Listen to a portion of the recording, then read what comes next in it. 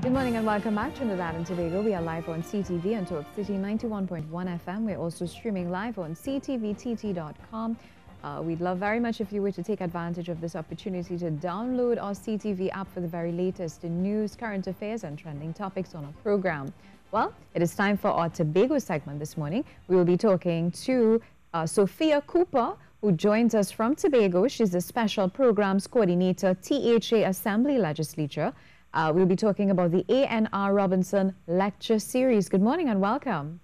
Good morning. So we're talking about the A.N.R. Robinson Lecture Series. What is this all about?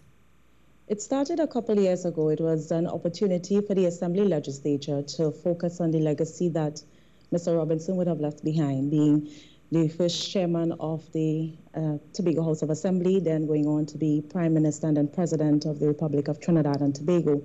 And we felt that we could lean on some of the lessons that he would have left behind, as well as putting into context some of the challenges being faced by Tobago and by extension Trinidad and Tobago.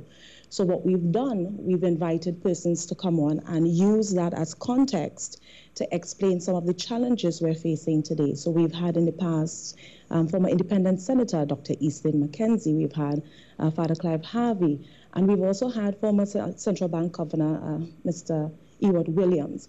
So we've had a collection of people who we think uh, were able to bring some definitive explanation and context to some of the challenges we're facing today.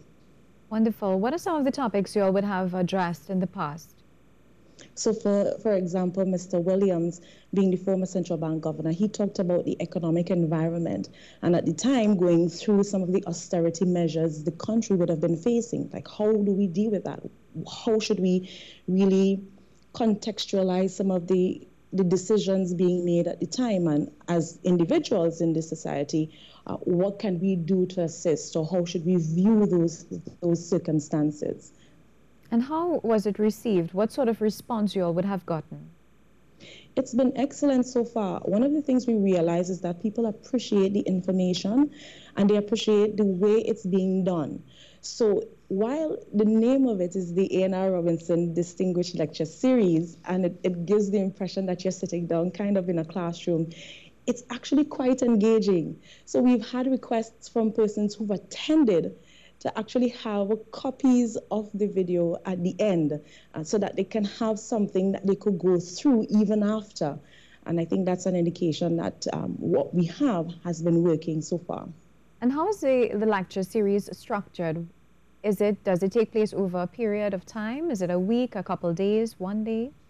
The intention is to have it once a year. And so this one day we choose uh, whether it's on the, um, the economic circumstances or any other challenges that we're facing at the time.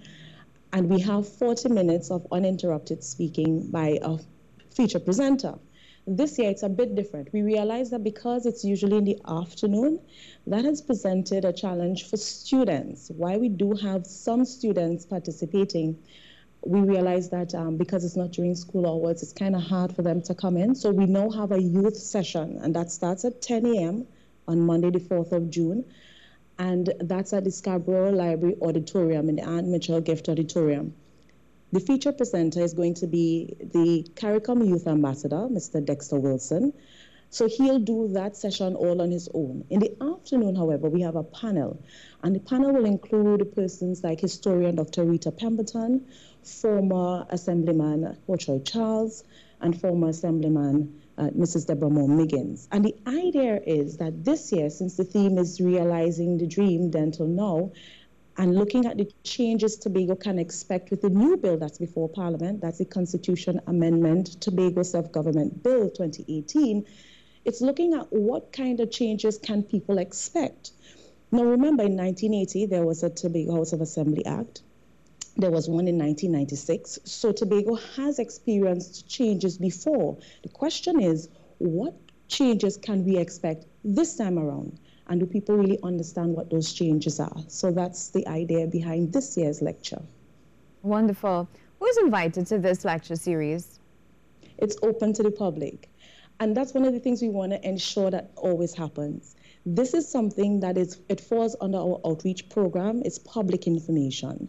We want to ensure that it's done in a way that people feel comfortable to come in to access the content, and even after this session has ended, that we have it posted on our Facebook page, on our YouTube channel, and in ways that people can easily access that information, whether it's just for going through it to get you know, just an idea of what the content is, or maybe it's a student who wants to do some research. We want to ensure that that public information is available. Would you say that the youth aspect of it has been somewhat encouraging, uh, seeing that you all decided to, uh, uh, you know, create an entire youth session? Well, I'm definitely excited about mm-hmm. it. Uh, Mr. Wilson has been a joy to work with so far, and as the CARICOM Youth Ambassador, I know that he's looking forward to it um, trying to put his own spin on the session because we've never had this youth session before. And we don't want it to be an exact replica of what the afternoon session is usually like. We understand that we have to make the space youth friendly. And so I know he's going to do his best to ensure that it's engaging in a way that younger audiences would appreciate. So you mentioned the theme there being, is it realizing the dream? Realizing the dream, yes. What led to this, this particular topic? Why now? I think a lot of people would remember Mr. A.N.R. Robinson as being one who looked at the, the, the idea of autonomy within the context of Trinidad and Tobago. And what does that mean today? So when we talk about the current Constitution Amendment Tobago Self-Government Bill that is before Parliament, how do we view that? So we wanted something that would connect us to what Mr. Robinson would have worked towards, but at the same time, link it with something that is current, something that is relevant, and something that people can find currency in. And what would have gone into planning this particular lecture series for this year? It usually requires finding people who are willing, of course, to stand up for 40 minutes or so and talking about a topic that we hope that they'll be motivated and, and excited about. Um, but a lot of it has to do with the staff just putting together the um, the, the, the, format, ensuring that we have the speakers, that we uh, encourage people to attend, that people know that it's available and it's out there, and that it takes place this year on Monday, the 4th of June, 10 a.m. for the youth session, 5 p.m. for the afternoon session, and it's open to the public. Where exactly does it take place? So the Scarborough Library facility is in the heart of town. And in the Scarborough Library facility, there's the Anne Mitchell Gift Auditorium. And coincident coincidentally, Anne Mitchell Gift is a former presiding officer of the Assembly Legislature. So it really ties in nicely mm-hmm. to the entire idea of the Assembly Legislature hosting this event at the library. Is there a registration process? When people attend, there is a registration desk, but you don't have to register before. If you want to come in, great. If you want to call us an RSVP, it's also encouraged. The office number is 639 2616. My extension is 240. Also, as you are having the youth session, are schools invited to attend as groups? all schools are invited. So although we've opened it up to the public, we wanted to make sure that the schools were aware. So we sent each secondary school an invitation so they, they are allowed to send 10 students and two teachers. Uh, some schools may ask to send more, and that's okay. We want to make sure that everybody has the information. So definitely all schools are invited. In terms of the students, what age groups are we looking at? I think we're able to accommodate those who are late primary school as well as all of secondary school. And when I say late primary school, I know that they are the SEA students who might have a little time because exams over and um, they're probably getting ready for graduation. So of course we want to welcome them to do something that is character building. And of course, all the secondary school students who may not have um, exams on that day, we definitely want to welcome them. That's wonderful. And what do you hope people leave with following this lecture series? I think at the end of it, it's always good for people to be able to clearly express how they feel. And we want to be able to give them the information so that they understand what this new bill is about. We know that the, the Parliament of Trinidad and Tobago will be accepting submissions and will be looking for people to review what is on the table at the moment.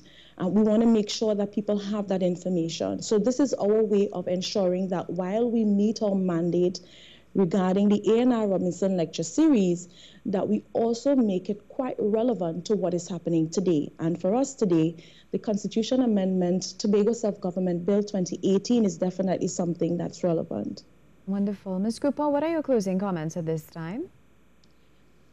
To, to just encourage everybody to attend. And if you can't physically be there, we'll be streaming live on Facebook and our YouTube channel. We want to encourage people, if you can't actually be there, the documents are online. The Trinidad and Tobago Parliament website has the bill available. And we have a library, a members library at the Assembly Legislature, which is located uptown on Jerningham Street. And we do have copies of the 1996 and the 1980 acts. So just to give people a comparison of what um, what each act and this bill has in it, and I think that's important. So the main encouragement here is be informed, find information, and let's have a, a discussion about what to expect. Wonderful. Thank you so much. Uh, thank you so much for taking the time to chat with us this morning. Thank you very much.